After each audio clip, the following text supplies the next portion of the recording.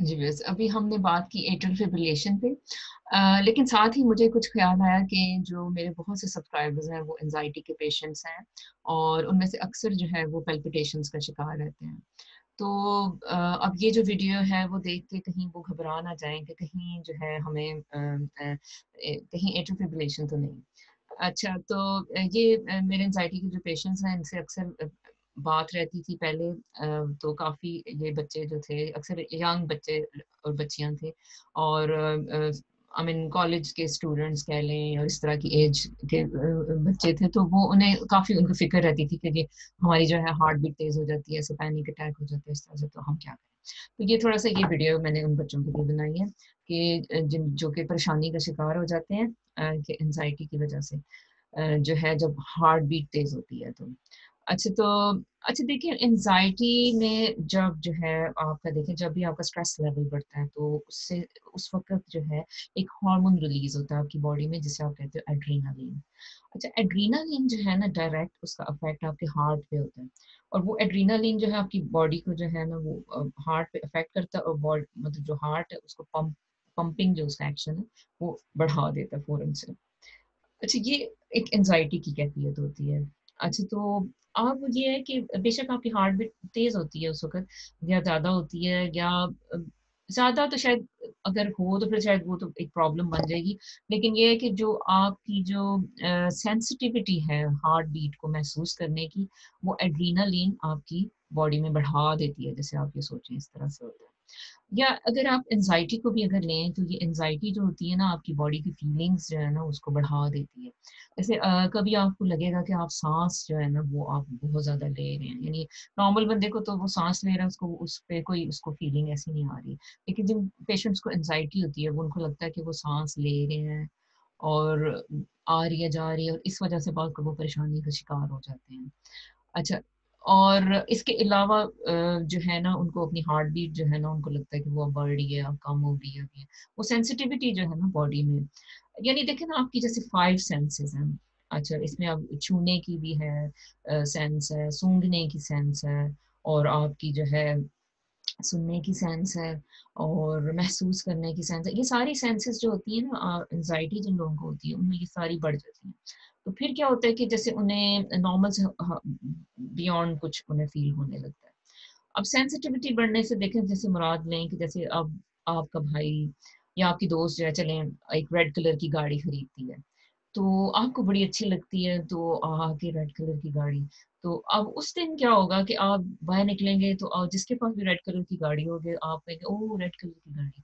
ओह! अच्छा, अच्छा ये रेड कलर की गाड़ी है। तो वो यानी आपकी जो सेंसिटिविटी थी वो एकदम से बढ़ गई। तो एंग्ज़ायटी में भी ये इंसान को होता है कि वो बेशक एवरीथिंग नॉर्मल होता है। उसकी ब्लड जो है वो नॉर्मल वे में पंप हो रहा है, हार्ट नॉर्मल वे में बीट हो रहा है और उसकी जो साँस है वो नॉर्मल वे में चल रही है या थोड़ी-सी तेज़ हो जाती है ज़ाहिर है में। तो लेकिन उसको जो है वो हर चीज़ बहुत ज़्यादा लगती है।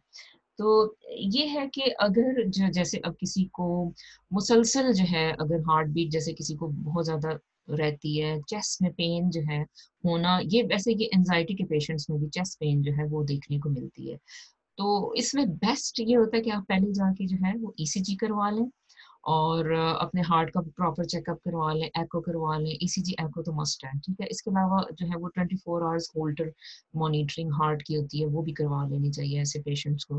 बेशक यंग हो ये नहीं कि ज़रूरी नहीं कि भाई आप यंग हैं तो आप समझें नहीं everything is fine just anxiety नहीं, पहले आपका हार्ट का चेकअप होना लाज़मी है, बेशक आप यंग पर्सन हैं।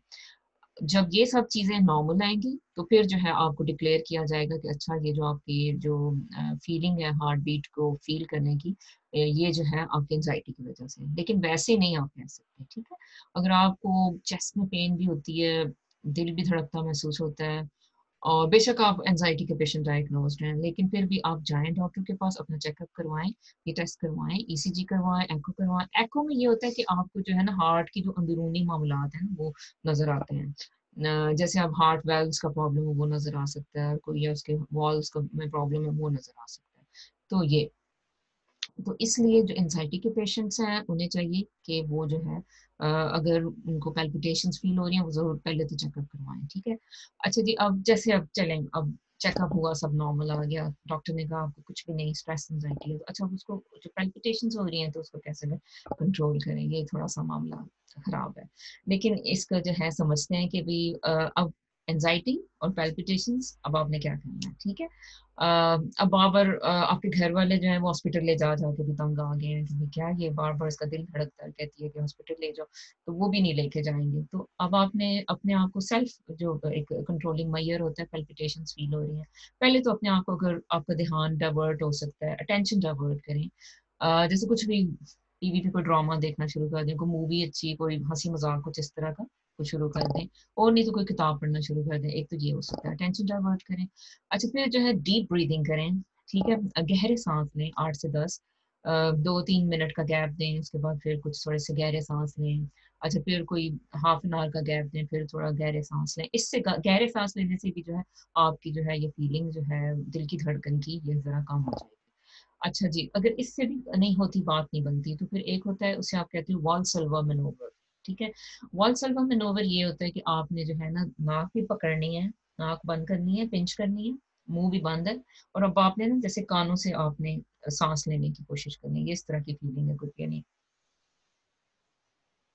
यानी इस तरह से। आपने जो लोग भी एयर ट्रेवल करते हैं, उन्हें पता है कि भी ये वॉलसलवा मनोवर किया जाता है, जब वो प्रेशर बाहर बढ़ रहा होता है और फिर जो है वो उनके कानों में जो है दर्द हो रही होती है तो फिर आप ये वाला करते हो मनोवर वॉलसलवा मनोवर तो फिर जो है ये आपको ठीक फील आती है। लेकिन इससे जो है आपकी हार्ट बीट जो है वो भी लिंक्ड होती है वॉलसलवा मनोवर से। तो आप ज़रूर जो है वो ये ट्राई करें, अगर कुछ भी जो है काम नहीं कर रहा।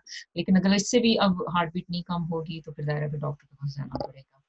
तो व्यूअर्स ये थी छोटी सी वीडियो आप लोगों के लिए, जो पेशेंट्स एंजाइटी का शिकार हैं पैल्पिटेशंस के प्रॉब्लम में रहते हैं, उनके लिए। Thank you for watching